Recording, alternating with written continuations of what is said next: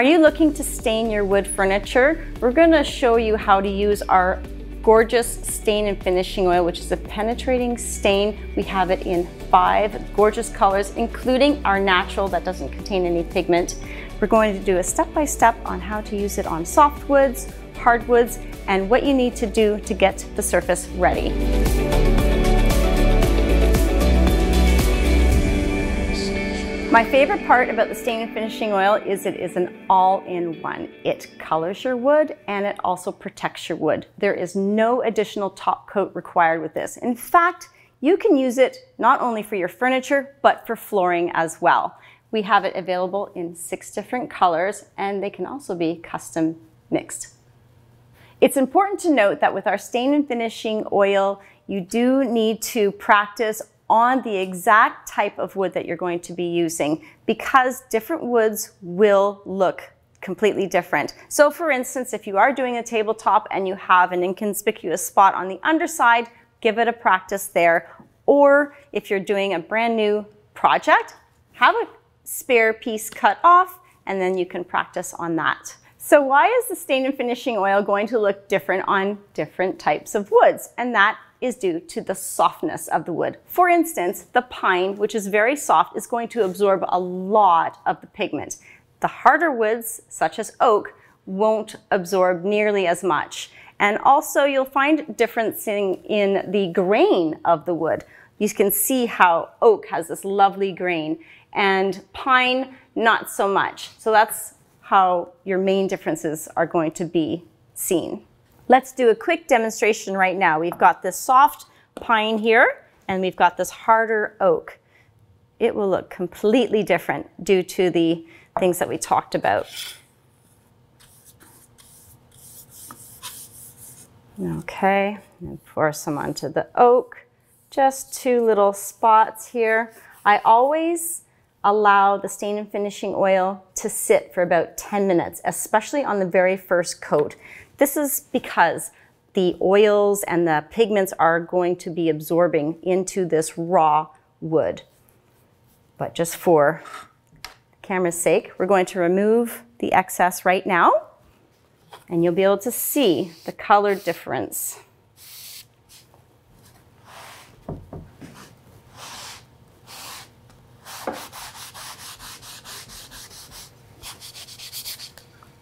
You can see how the oak is very different than the softer pine.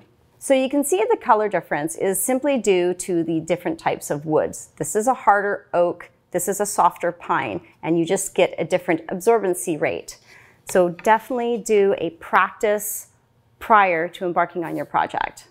Working with your sample, taking a look at it, say you want to have it a little bit darker.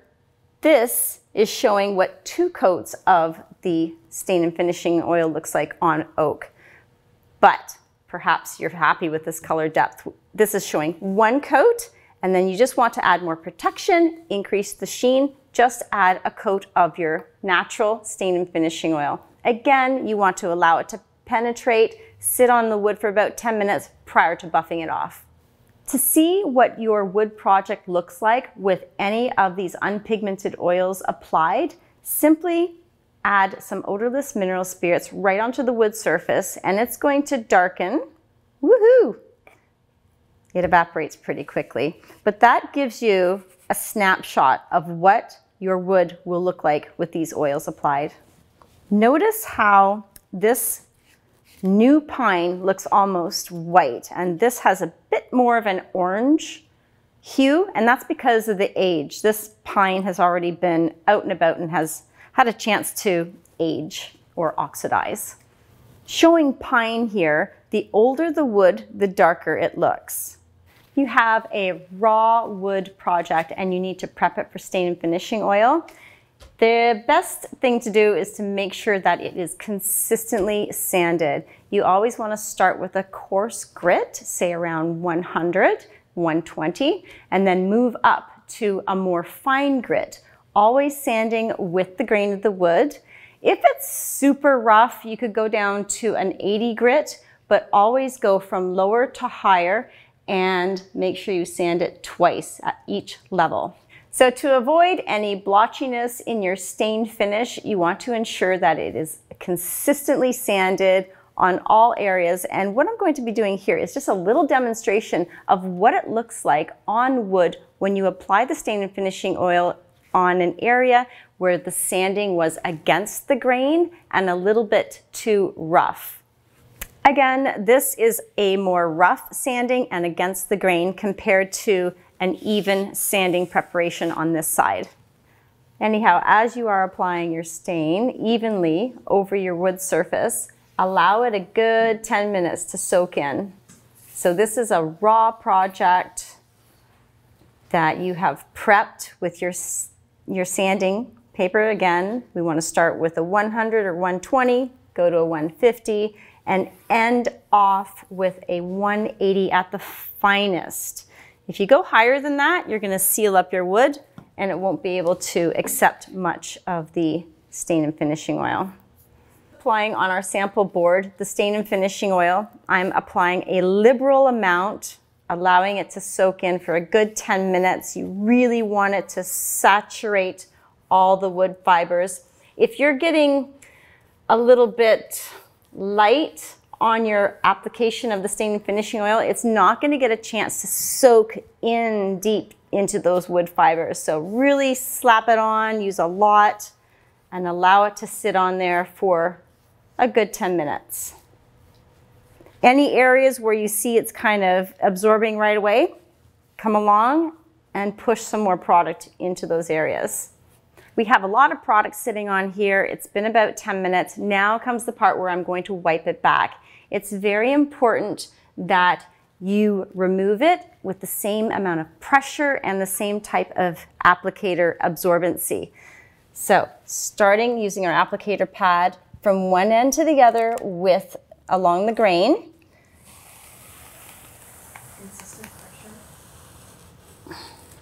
There we go. That is looking gorgeous so far.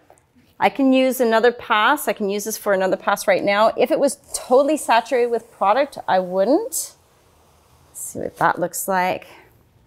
Okay, now I'm gonna flip it over. A little bit of pressure too much there. I'm just gonna go back and hit it again. Okay, so here we go. Again, left to right. Using the same amount of pressure. Now I am going to be turning this over. I took off a little bit more stain there than here. That's because this is becoming a little bit too saturated. So starting off with the new side. There we go.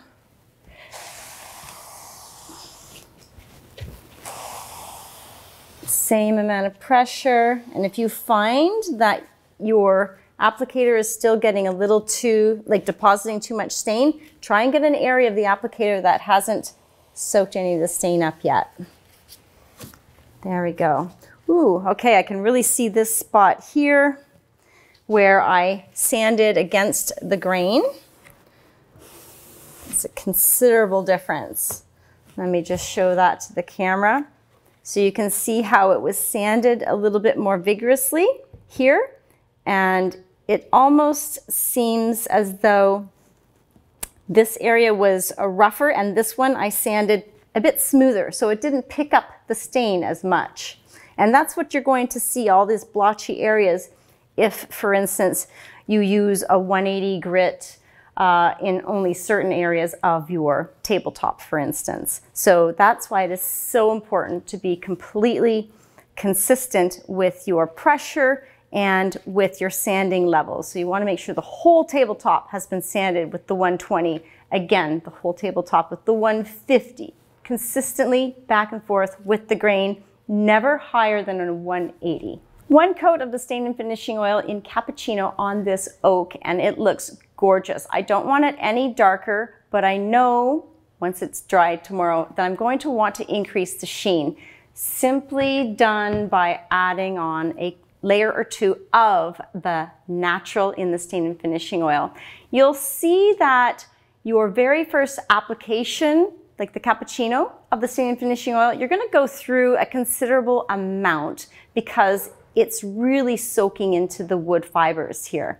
But when you come along to up your sheen and add more protection with the natural, you're going to go through very little, maybe about a third of what you used to stain it originally. And you don't have to stop with just one coat of the natural. You can layer it so every subsequent coat that you put on, you'll get higher sheen. In fact, I've gotten a semi-gloss with only three coats of the stain and finishing oil on hardwoods such as oak. If you feel you need even more protection, just put on another layer of the natural SFO.